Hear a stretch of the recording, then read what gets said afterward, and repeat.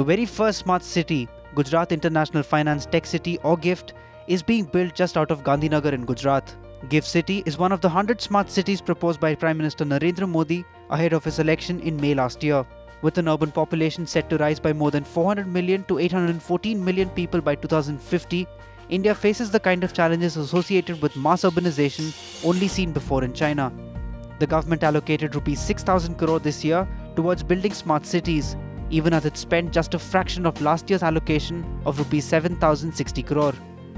Lack of experts who can make such huge projects work and lack of private finance were seen as some of the biggest challenges in getting new cities built or transforming existing cities.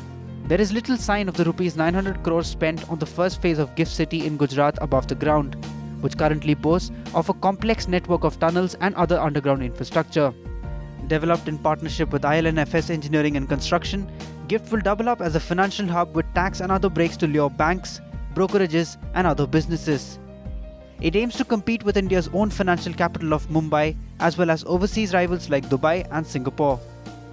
Shirish Sankhe, director at McKinsey and Company, said that existing cities should be developed into smart cities through brownfield project undertakings, which would mean redeveloping or adding to existing work.